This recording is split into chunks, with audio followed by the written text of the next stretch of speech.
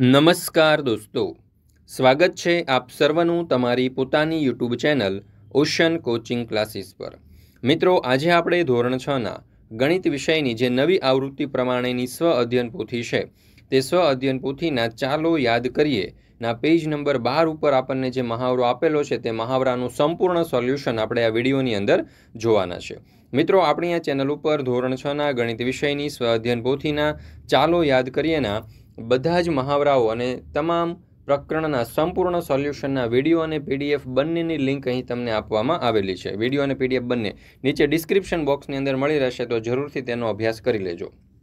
તેમજ આપણા વોટ્સઅપ ગ્રુપમાં પણ જરૂરથી જોડાઈ જજો. જેથી કરીને આવનારા તમામ વીડિયો સોલ્યુશન્સ અને પીડીએફના સોલ્યુશનની લિંક તમને પ્રાપ્ત થતી રહે.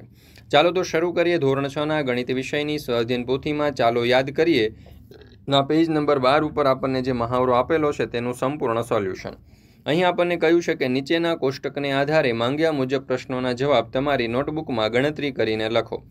શાકભાજીના નામ આપેલા છે બટાટા. બટાટામાં એક કિલોગ્રામની રૂપિયામાં કિંમત ત્રીસ રૂપિયા.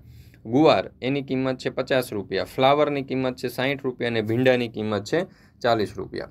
તો જોઈએ એમના ઉપરથી કેટલાક પ્રશ્નોના ઉત્તર. પહેલું, ત્રણ કિલોગ્રામ બટાટાનો ભાવ કેટલો? હવે એક કિલોનો ભાવ ત્રીસ રૂપિયા છે, તો ત્રીસ ગુણ્યા ત્રણ કરીએ એટલે જવાબ આવશે નેવું રૂપિયા. ત્યાર પછી બીજું, બે પૂર્ણાંક એકના છેદમાં બે કિલોગ્રામ ગુવારનો ભાવ કેટલો? હવે બે પૂર્ણાંક એકના છેદમાં બે. એને આપણે મિશ્ર સંખ્યામાં ફેરવી નાખીએ, ઓલા મિશ્રમાંથી સાદા અપૂર્ણાંકમાં. તો બે દુ ચાર ને એક પાંચ એટલે કે પાંચના છેદમાં બે.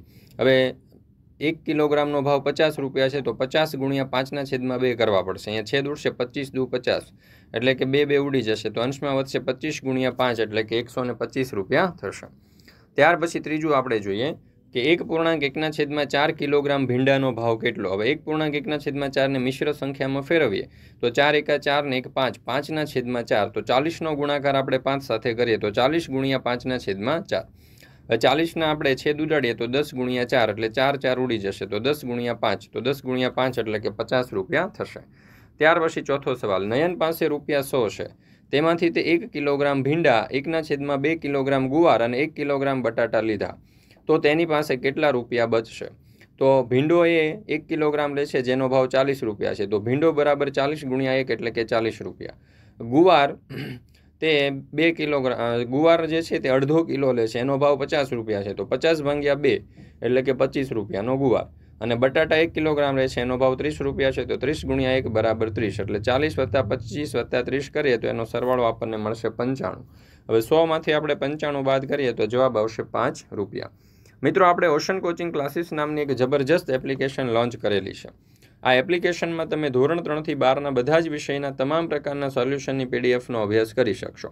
જેમ કે દરેક પાઠની સમજૂતીના સોલ્યુશન, સ્વાધ્યાયના સોલ્યુશન સ્વઅધ્યયન પોથી, ગાલા સ્વાધ્યાય પોથી, પ્રશ્ન બેંક, અસાઇનમેન્ટ, પ્રથમ, દ્વિતીય અને વાર્ષિક પરીક્ષાઓના પ્રશ્નપત્ર અને બીજા તમામ પ્રકારના સોલ્યુશનની પીડીએફો અહીંથી તમે મેળવી શકશો. તો જરૂરથી તમારા દોસ્તો, મિત્રો, સગા, સંબંધીઓ જેઓ પણ ધોરણ ત્રણથી બારમાં અભ્યાસ કરતા હોય તે દરેકને એપ્લિકેશન વિશે જરૂરથી જાણ કરજો. એપ્લિકેશન ડાઉનલોડ કરવા માટેની લિંક તમને નીચે ડિસ્ક્રિપ્શન બોક્સની અંદર મળી જશે. ફરી મળીશું આપણે. ચાલો યાદ કરીએના એક નવા મહાવરાના સંપૂર્ણ સોલ્યુશન સાથે. દોસ્તો, આપણી આ ચેનલ ઉપર સ્વ પોથીના બધા જ પ્રકરણના તમામ સ્વાધ્યાય અને તમામ મહાવરાના સોલ્યુશનના વીડિયો અને પીડીએફ બંને મુકાઈ ચૂક્યા છે. જેની લિંક તમને નીચે ડિસ્ક્રિપ્શન બોક્સની અંદર મળી જશે.